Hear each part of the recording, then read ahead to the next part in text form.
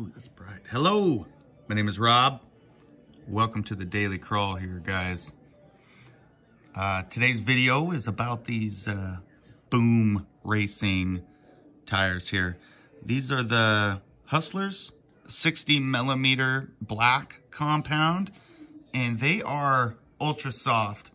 They are by far, hands down, the absolute softest tires on the market, period dot. Um, wanted to make this video just to uh, maybe help people choose or decide between the black compound and the red compound. Now, I have um, the black compound. I bought the 60 millimeter Hustlers, and then also I bought these, um, the other one, those aggressors right there and they look pretty rad. These aggressors, the tread pattern uh, reminds me of um, kind of a hybrid tire between a uh, trail warrior and a mudslinger. Let's see. I mean, if you kind of look at these these little fingers that pop out here, these little lugs. It's definitely got the lug right there. And then these triangle pattern, you know, reminds me of the Trail Warrior there. But if I had to uh, choose here, I'd say that that is pretty well uh, a hybrid between those two tires. Now, my advice to anybody that is uh, looking to purchase these Boom Racing tires. Um, if you have a heavy build, go with the red compound.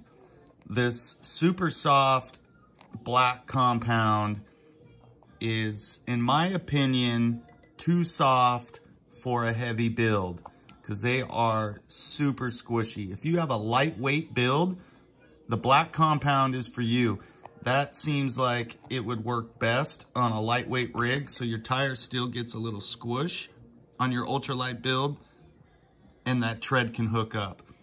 Now, I do not own the red compound, so I can't speak to how the difference is between the red and the black, but they say the red is a uh, stiffer compound. That, to me, would work best on a heavier build because your heavier build is already going to squish the tires. I feel like there's almost too much squish on my heavy build with the black compound. I went out and ran this um, a couple laps around my tree and holy cow, is it just, I mean, the tire just was folding over, squishing all over the place with the black compound which got me thinking that I, I really like my new wheel setup on the Micro Shark. I think it looks pretty darn rad.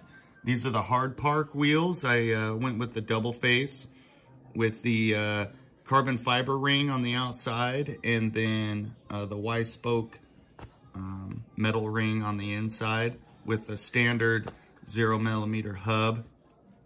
And um, I was able to seat these Boom Racing. It was very difficult with a ring to get the Boom Racings to seat.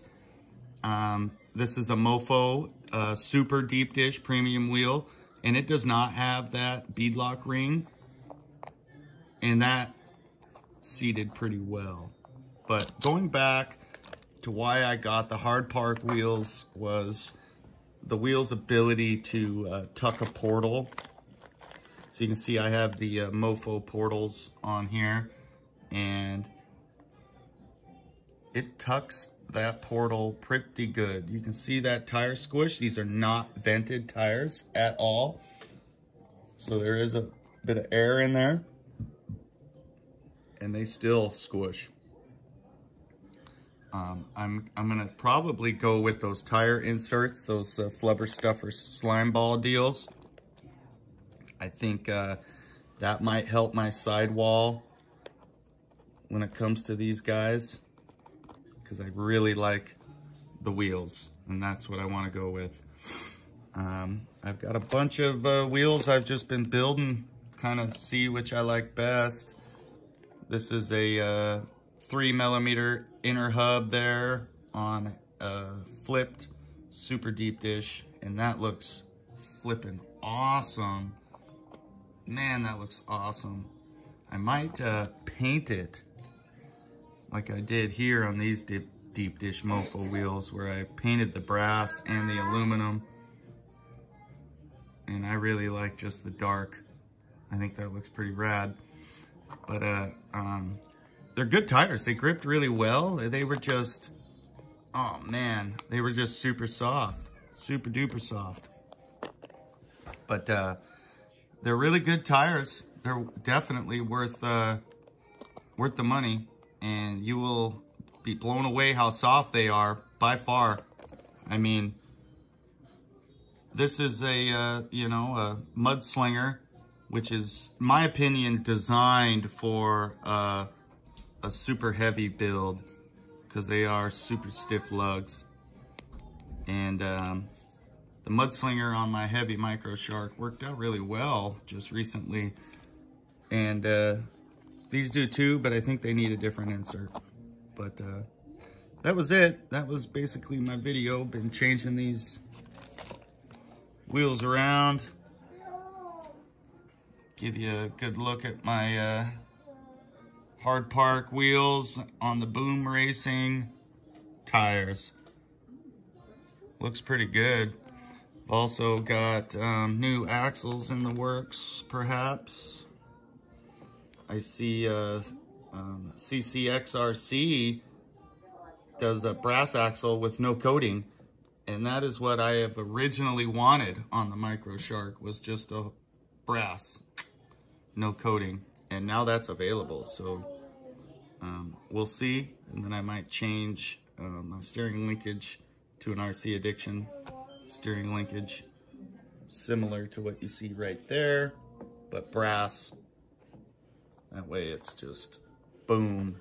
And then I'm gonna try and figure out a way that I can maybe remount my servo so the grill will go down further. As you can see, I do own the uh, best servo mount ever made by Mofo. And maybe I can put the servo on the other side of the mounting posts and move it around to get it to uh, tuck underneath the grill. I've just always lived with the fact that it doesn't tuck under the grill, but uh, maybe now I can uh, figure something out.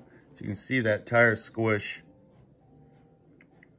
I mean, that's just, and that is not vented and it squishes that, that well. That's what I'm saying. The black compound, ultralight builds, get the red compound for a heavier build, in my opinion. So, anyways, hopefully that uh, helps anybody trying to decide. Like I said, I don't own the red compound, but um, I would have to say that that's probably what the two compounds are for. So anyways, thanks for watching. Uh, catch you on the next one. Peace.